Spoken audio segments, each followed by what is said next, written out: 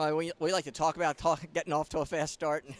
Easier said than done, but our lineup is set up, so we hopefully we can get off to a fast start. And thankfully tonight we did. I thought we did play uh, pretty well. And you know, Franklin and Marshall's a very good team. It wasn't that long ago when we would go up to Franklin and Marshall, and I'd look and they'd beat us in three, and I'd think, how can we ever get as good as Franklin and Marshall? You know, and so I'm really proud of our kids and the way how far that they've come in a pretty short time. Uh, and uh, I thought they played well tonight, you know, hitting 462 in that third set and really kind of kick it into gear.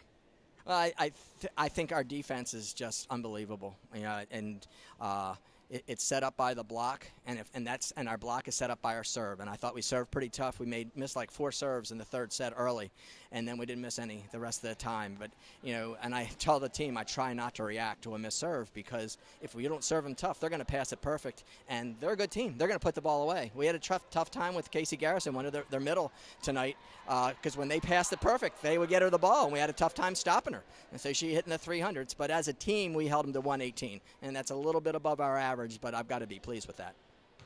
Yeah.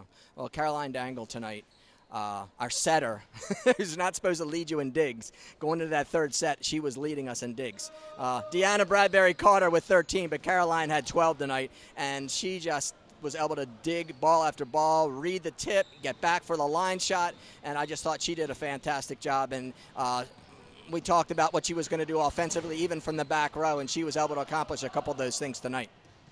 Well, yeah, I think it, it means a tremendous amount not to have to get in the bus, miss a class, rush out, grab a snack, and then finally eat dinner at 10:30 on the way home. You know, not to have to do that is huge. And so we are very happy about being home for the MAC semifinals next Wednesday night and at 7 o'clock. And uh, we do, and I don't have a time for that Saturday yet, but we're looking at 3.